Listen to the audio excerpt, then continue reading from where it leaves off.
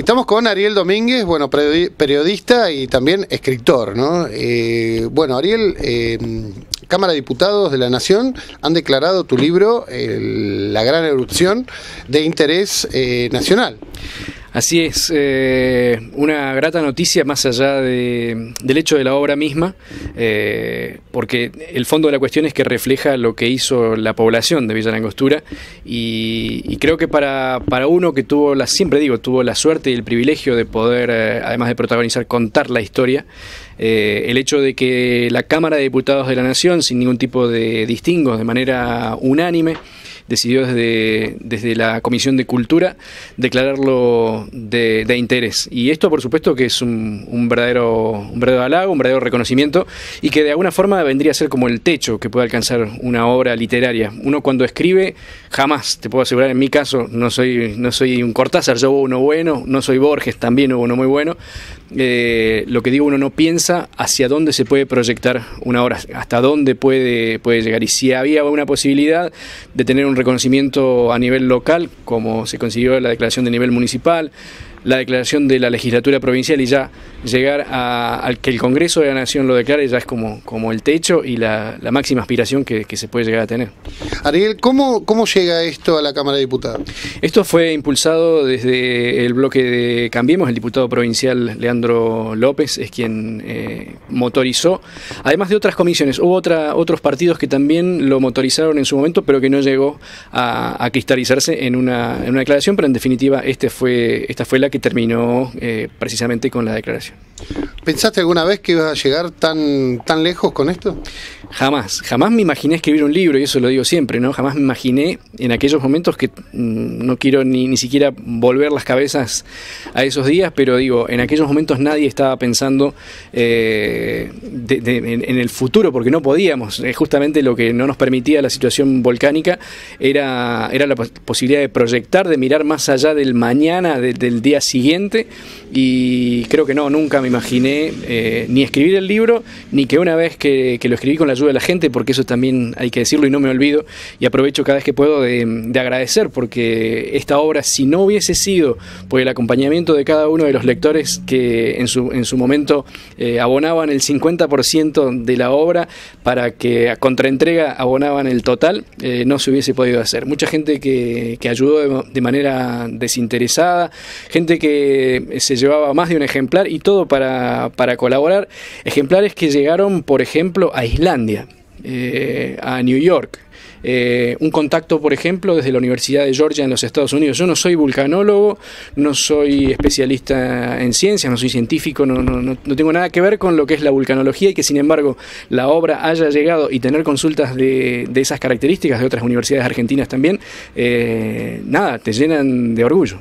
¿Vos pensás que el libro de alguna forma mínima o máxima ha ayudado a disparar un montón de, de realidades, o sea, y de hechos en cuanto cuanto a la prevención de lo que es eh, lo que nos pasó en 2011, eh, más que nada a prepararnos para una eventual situación volcánica? Mira, yo creo que en definitiva la situación en sí ameritaba que se tomen decisiones serias a nivel gubernamental. Que por ahí uno haya podido esperar mayores cambios, mayores modificaciones, mayores cuestiones preventivas, Puede ser.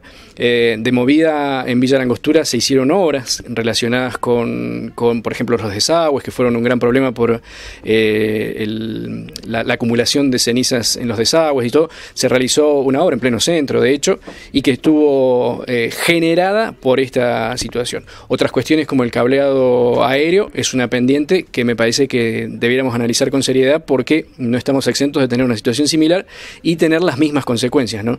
creo que ese lugar, eh, una cuestión que, yo destaco, con orgullo digo, es el hecho de que eh, no todas las fuerzas para no decir ninguna de las fuerzas que participaron en, en, aquel evento, que fueron muchas y que también el pueblo tiene que estar más que agradecido, pudieron, tuvieron la oportunidad o el tiempo para asentar sus experiencias. La experiencia por escrito es fundamental para que las generaciones futuras, digamos, cuando no estemos nosotros, sepan cómo se actuó, cómo se salió. Y en definitiva, creo que esto eh, es un documento, ¿sí?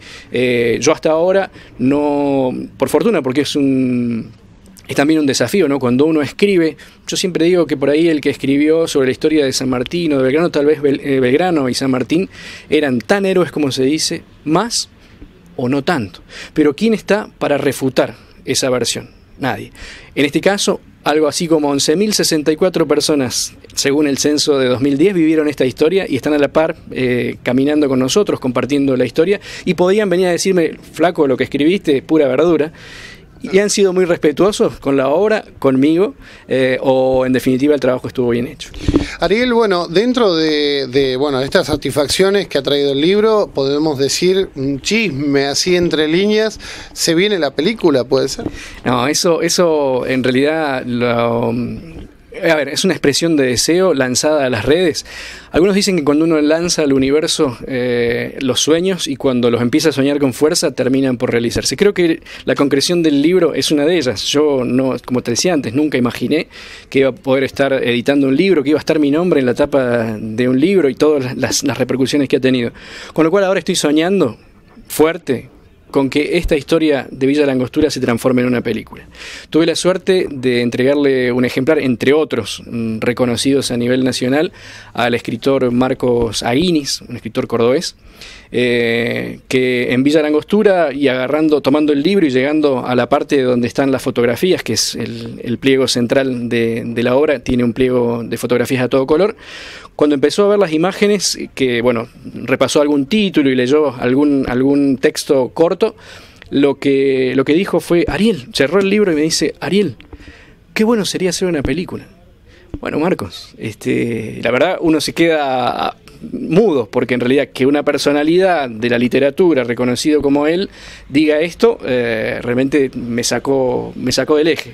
Y en definitiva, bueno, la idea está lanzada, eh, habrá que buscar la financiación, que es eh, el tema de toda obra que uno quiera llevar adelante, siempre hay un escollo que es la parte económica, pero que creo que en definitiva, tocando por ahí, las, las, redes, armando las redes y construyendo un proyecto serio, se puede llegar a, lograr, a cristalizar y que en definitiva, insisto, más allá de, de, la obra sea un reconocimiento a lo que hizo Villa Langostura, porque vos llegás hoy acá a Villa Langostura y decís, acá no pasó Y sí, ¿qué pasó?